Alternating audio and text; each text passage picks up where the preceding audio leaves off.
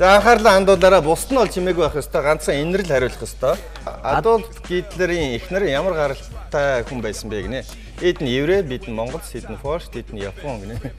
Адольф Гитлерийн эхнэр гэх хүн байсан шүү дээ. Хамгийн сүүлд яг нас орох Цогтой нэг өдрийн өмнө гэрлээл тэгээд маргаашин цуг ямаа орсон баг те. Тэр ихнэр нь юм уу эсвэл бүр өмнөх ихнэр нь юм.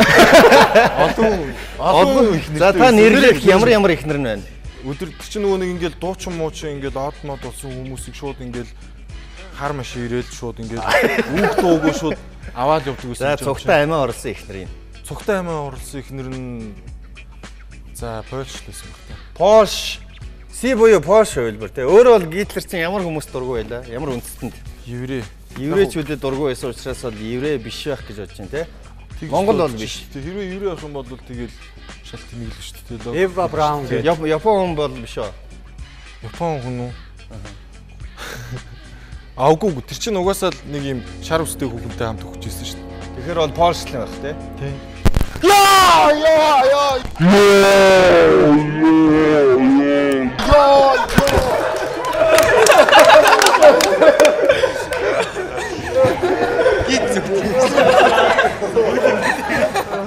За Гитлер чи өөрөө герман еврей үндэстэнд дургу байсан. Монгол бол ягаач биш, Япон бол бас Аз хүн биш те. Тэгэхээр ганц шар үстэй нь бол Пош л байсан. Гэтэл зөв үйлрэл нь бол дэлгэцэн дээр одоо гарна л та тийм анхааралтай хараарай. Британий эрдэмтэд еврейчүүдийг үзэн ядаж хүйс тэмтэрч байсан Адольф Гитлерийн эхнэр Ева Браун еврей гаралтай байсныг тогтоосон байна гэж The Independent сонин мэдээлсэн байна. Баварын альбадуудыг Гитлерийн гэрт байсан самнаас Ева Брауны үсийг олж ДНК-гийн шинжилгээ хийхэд Ева Брауны эхийн талд еврей цустай хүнтэй холбоотой хүн байсан гэсэн дүгнэлт гарчээ. Тэгэхээр э, нөгөө нэг үснийг судлаа ДНК-ээр нь Нууцсан байсан юм байна л да тий өөрөө. Өөрийнх нь бас удам нь бол нэлээ хол тасраад еврейгээс ингээд өөрчлөгдөд ирсэн. Тэр бол мэдхгүй бас нууцсан л байсан юм шиг байна. Гитлер ч бас өөрөө еврей байсан. Тэгээ еврей хамаатнуудаа бүгдийг нь алсан гэж бас түүх үйдэн. Тийм үү. Өөрөө бол ямар э, улсын иргэн байлаа?